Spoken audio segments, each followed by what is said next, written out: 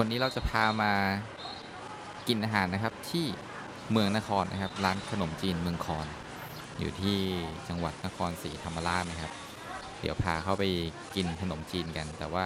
ให้ชมบรรยากาศร้านกันนิดนึงก่อนว่าเขามีอะไรขายบ้าง ทั้งหมูสเต๊ะ ทั้งขนมจีน น่ากินทั้งนั้นเลยนะคือร้านนี้เป็นร้านชื่อดังของเมืองนครเลย อยู่ใกล้ๆกับวัดมหาธาตุเมืองนครนะครับ หน้าร้านเขาจะมีมังคุดคัดขายด้วย มีกาแฟสดด้วยนะครับ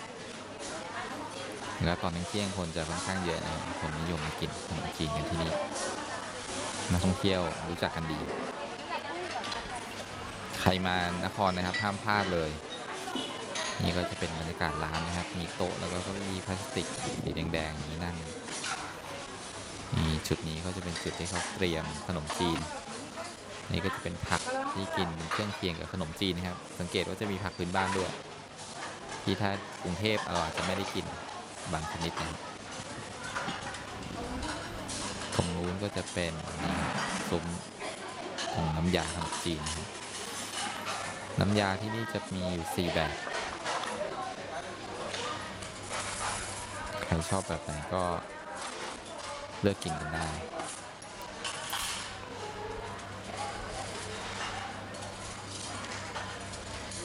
แต่วันที่ผมมานี่รู้สึกมันจะมีอยู่สามสามน้ำยา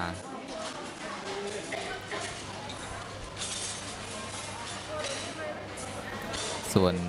ใครที่กินขนมจีนไม่ชอบก็มีข้าวราดแกงด้วยนะครับ ที่นี่ แล้วก็ที่สำคัญอาหารพื้นเมืองอีกอย่างหนึ่งครับข้าวยำที่นี่ก็มีขายเหมือนกัน ใครมาภาคใต้ก็จะต้องลองกินข้าวยำนะครับ เป็นอาหารพื้นเมือง นี่ก็เป็นบรรยากาศในร้านนะฮะ ไปโต๊ะที่ผมนั่งดีกว่า ไปถ่ายรูปขนมจีนกันดีกว่า ให้ดูบรรยากาศร้านอีกทีหนึ่งว่าร้านรองรับคนได้เยอะทีเดียวนะครับ นี่ครับขนมจีนเขาจะมาเป็นชุดเลย นี้เราสั่งหมูสเต๊ะมาด้วยขนมจีนเขาใส่ตะกร้ามาแล้วก็เราก็แบ่งใส่จานเรา แล้วก็ตักน้ำราดตามใจชอบ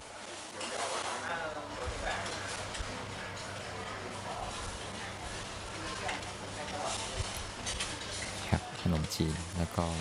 น้ำยาต่างๆมีไข่ต้มมาให้ด้วยมีผัก หลายชนิดเลย อ่าใบแรกใบนี้ใบอะไรครับ อันนี้ใบกายูกายู หรือยอดมะม่วงหิมพานต์ใบนี้คือใบมะกอกอันนี้ใบมะกอกมีอะชุดหนึ่งค่ะ อันนี้ผักชีล้อมโอ้ครับแตงกวานี่เป็นผักพื้นบ้านหมดเลยนะ กินกรุงเทพไม่มีนะก็มีอะ มีปะรักมีน้อยแต่น้อยแต่ว่าก็ไม่ได้ไม่ได้หลายมาแต่กไม่ค่อยเห็นทั่วไปเนาะไม่เห็นทั่วไปเนื้อหมูกินแต่ว่านี่ครับผักบุ้งราดกะทิกินแล้วมันก็ผนมนจะหาที่ไหนไม่ได้จริงๆ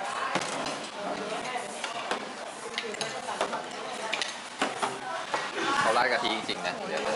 ตัดให้ดูนิดนึงว่ามันมีกะทิขาวๆเห็นปะอ่าประมาณนั้น